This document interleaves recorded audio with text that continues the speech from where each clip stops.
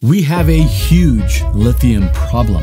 In the past, lithium ion batteries powered things like cell phones and laptops, but now they power everything from cars, tractors, ships, and homes, and so the demand is skyrocketing. And it got me thinking, where does lithium even come from, and do we have enough? Well, good news, everyone. I traveled to Austin, Texas to meet with a company called Energy X, and they believe they have a novel process for increasing lithium yields and lowering cost. So how does it work, and how will it affect lithium supply and prices around the world? Let's figure this out together. I'm Ricky, and this is 2-Bit Da Vinci.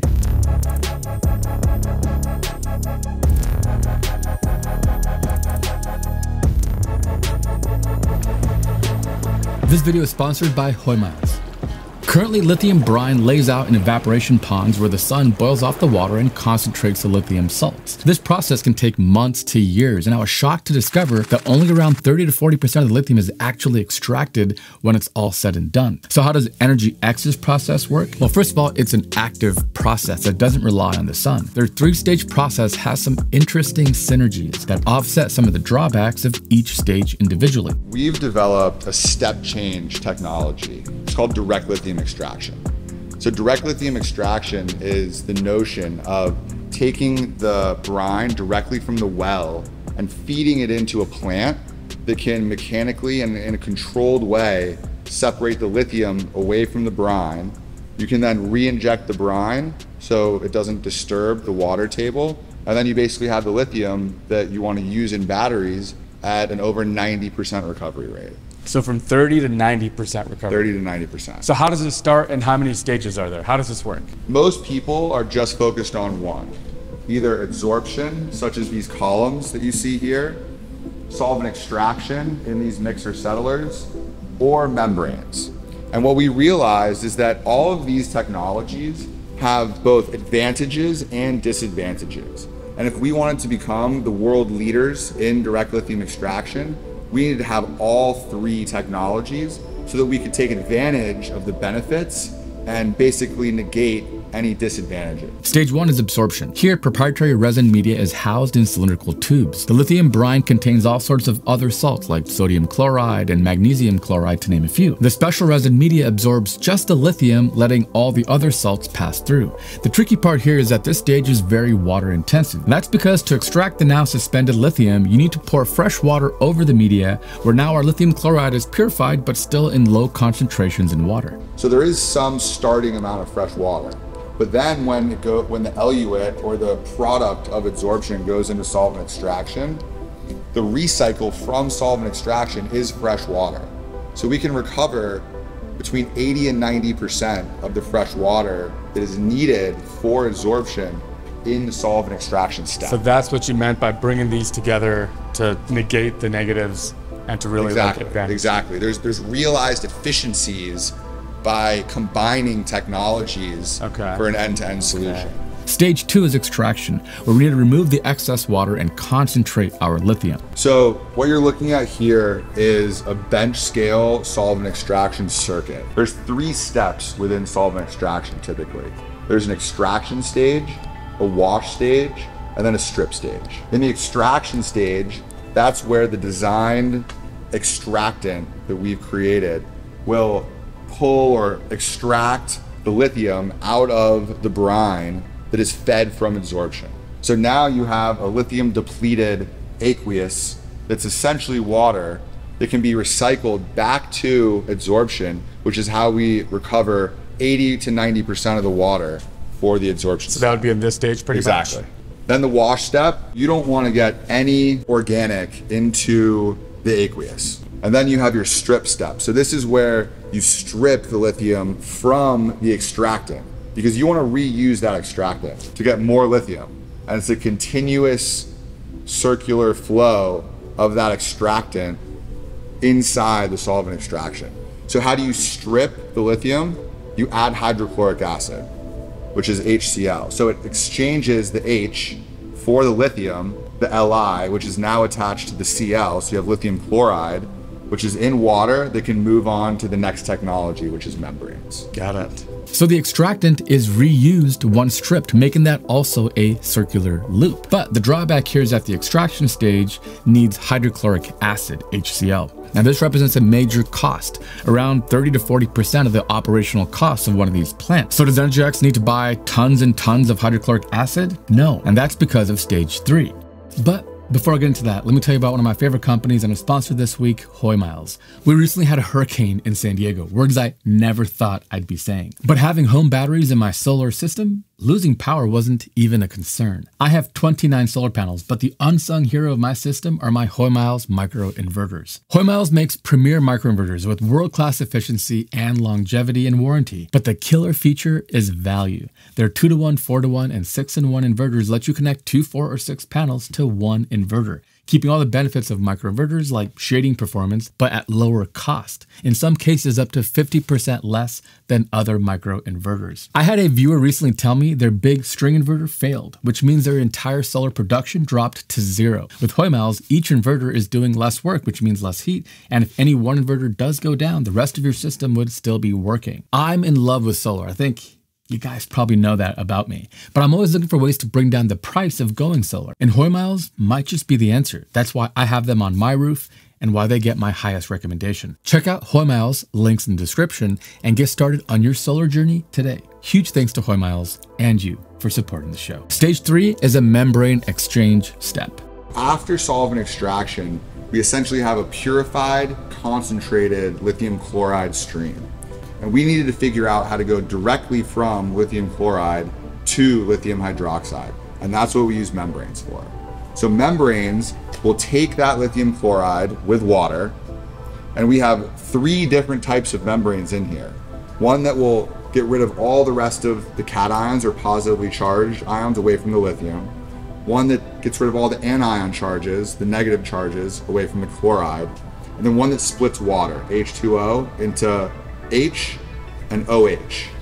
And then they'll switch with the Li and Cl. So now, exiting this system, you have LiOH, which is lithium hydroxide, Okay. with a byproduct of HCl. So the H attaches to the Cl that was on the lithium, and HCl is hydrochloric acid that gets recycled back into solvent extraction.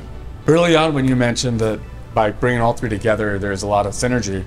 I was trying to think like why, but now I completely understand. You know, it's very water draining. It's very high intensity water. You need HCl. All this stuff, if it feeds back in, it just becomes almost like a closed loop system. It's a closed loop system. This means that the process is circular and the chemicals get reused. This synergy of three stages is one of the most interesting parts about their approach. They've taken some of the drawbacks, for example, being water intensive, and fixed that by being able to reuse the captured water from stage two and stage one. They recapture hydrochloric acid in stage three that they can reuse in stage two. Pretty awesome. So is this what you guys get shipped? This is how it all starts, right? Yeah, so this is called a tote.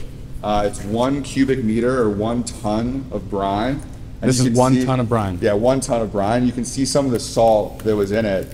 Uh, the salt, which lithium is a salt, is dissolved into the brine. So ocean water is about 3% salinity. If you've ever had a mouthful of ocean water, if you think that's salty, this is 30% salt dissolved into this water. That's And how it all lithium is just one of those salts. And the idea of using these technologies is to just extract the lithium out of this. So from this ton of brine, when all the stages are completed, how much lithium do you get out of this? So that depends on how much lithium is in there to start with, but theoretically 90% of the lithium will be recovered. And from one cubic meter, or essentially one ton of water, uh, you might recover from this, it would be a couple kilograms of lithium. And one ton of lithium equates to approximately 14 to 17 cars. That's amazing, right? I mean, if we're talking about building 50 million electric cars, it all starts with this and a ton of brine.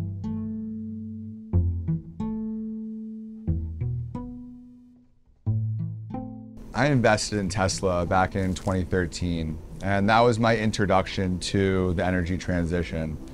Fast forward to 2018, I was traveling in South America and I went to the world's largest salt flat, which happens to be in Bolivia. And when I was at this salt flat, our tour guide starts telling our group about how this place, this salt flat, was the world's largest lithium reserve.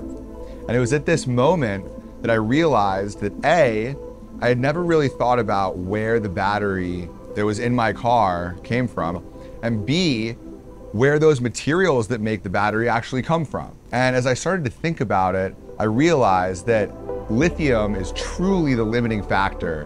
When you start to peel the layers of the onion back, you can see that all the other battery materials like nickel and copper have a lot of other applications. They're used for many other things. But lithium is literally not used for anything else. Well, it's used for like a little bit of medicine and a little bit of fringe applications, but it has no major application. And if we're gonna have tens of millions of electric vehicles made per year, we need a lot of batteries and therefore a lot of battery materials. And lithium specifically, the manufacturing methods aren't to date, aren't caught up to date with as much as we need. The big columns basically, this is what it looks like on the inside. Uh, it's cool because it's glass and you can actually see the resin inside.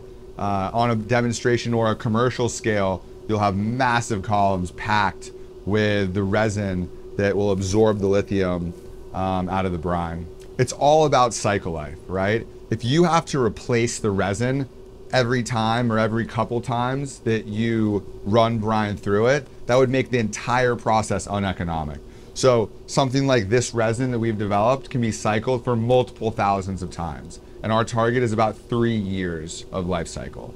So is it all sunshine and rainbows for Energy X? Well, not exactly. Their tech is seriously pretty impressive, but there's still some questions to answer. For one, It'll be just how long each one of those stages lasts for and how much maintenance and cost there is. For example, that resin that they've come up with, which is pretty spectacular and important and it works well, will have to be replaced on some interval. Based on initial testing, it'll be about three years. But in the field, with different conditions, those numbers could change. So hopefully they do sort that out. But all those costs, all those maintenance and replacement costs will factor into the final cost per kilogram of lithium produced this way. And that ties into the bigger challenge number two, which is convincing these big lithium operations that they should use Energy X's technology. Now, these operations have been around for a long time, so they're not always keen to some new technology, especially if it means being beholden to a third party in their supply chain, which they might not be currently.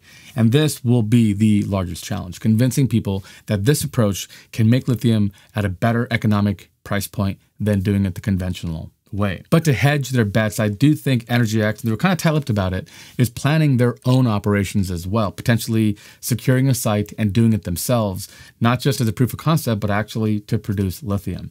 So those will be the final challenges. First, you got to make it work. Second, it's got to be commercialized, operationalized on a large scale. And then you got to get customers willing to go, yeah, I think this will definitely be worth the added cost. Here's a really cool chart that shows the price for a battery and where it comes from.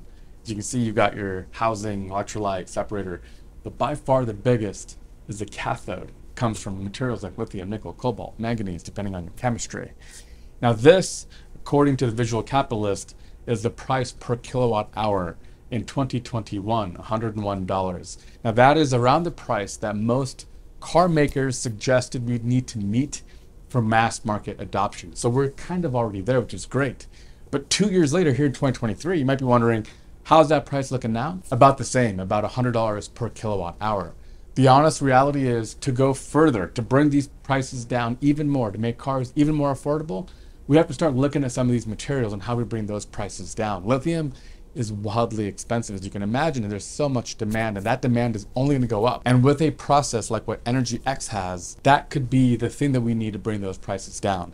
Not only do we not need 18 months of baking in the sun to evaporate those pools down, but also you get almost three times as much lithium from the same amount of brine. Just imagine what that could do for future lithium prices. All right, so that is a quick look here at Energy X and their cool tech and their take on how we solve the lithium problem. If you thought that was cool, check out that video next. Until next week, I'm Ricky with Da Vinci. Thanks so much for watching.